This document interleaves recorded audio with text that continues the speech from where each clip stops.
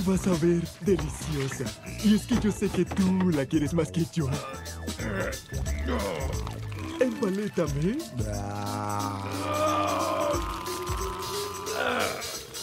¡No! ¡Tonto! ¡Ahora sí! ¡Te enseñaré a compartir! Ah.